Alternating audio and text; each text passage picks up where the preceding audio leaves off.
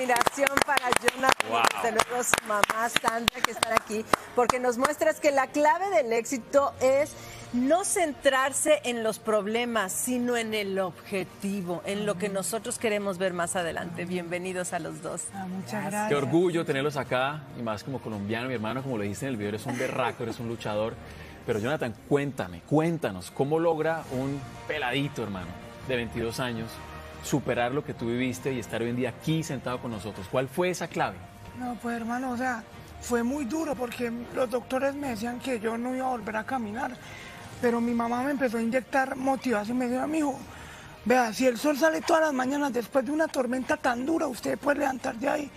Y empecé con las terapias físicas y ella vio que por medio del baile, que es lo que más me gusta a mí, la salsa, podía recuperarme más rápido. Y empecé con las terapias a bailar, a bailar y gracias a Dios me paré la silla ruedas, gracias a Dios me gradué de la universidad, gracias a Dios. Qué orgullo. Y, y Sandra, yo no me puedo ni siquiera poner en tu lugar, yo soy mamá, no puedo imaginarme cuando, como dijiste, ya lo presentías tú, recibes esa llamada, después de todo lo que pasaste, ¿cómo te sientes ahora que lo ves? Pues feliz, feliz y ver que el camino fue muy duro.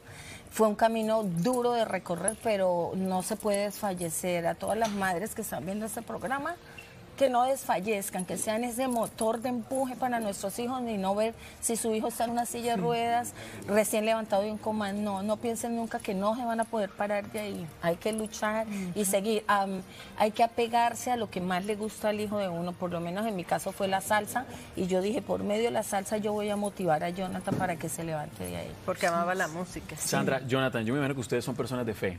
Sí, Sí. mucho. Y cuando uno es una persona de fe, uno siempre tiene un mensaje que compartir y que darle a la gente para que cuando pase por estas circunstancias que vivieron ustedes pueda salir adelante. ¿Qué mensaje, Jonathan, tú le darías a la gente que está pasando por una circunstancia tan difícil? Bueno, yo les quiero decir que nunca pierdan la fe porque con Dios por delante todo obstáculo y toda barrera puede ser derrotada y puede ser vencida y puede ser derrumbada.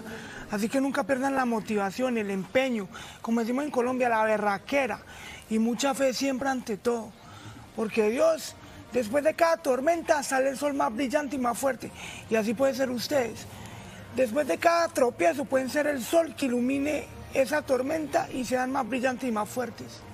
Y sabes que yo sí tengo que decir que, primero que nada, obviamente me encanta que estés aquí y que lo puedas decir, pero cuando alguien de repente habla y dice, no, la vida, podemos salir adelante, nada nos detiene, pues a uno no se lo van a creer. Pero cuando veo un ejemplo como el tuyo, como el ejemplo de tu mami, que a pesar de todo lo que decían, ustedes se esforzaron, queremos agradecerte de verdad, de corazón, te aplaudimos por tu esfuerzo, por tu perseverancia, porque sigues aquí, porque sigues impulsando además a todos los que te están viendo, inyectándonos de energía. Y ya que hablamos de inyectando de energía y que ya vimos que eso fue lo que a ti te ayudó, necesitamos compartir esa energía que ustedes dos conocieron juntos, porque ya los vi que bailan juntos.